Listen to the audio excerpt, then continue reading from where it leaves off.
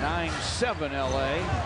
And there's the first dunk of the night for Blake Griffin. The crowd oohs and ahs. He has four to go with five rebounds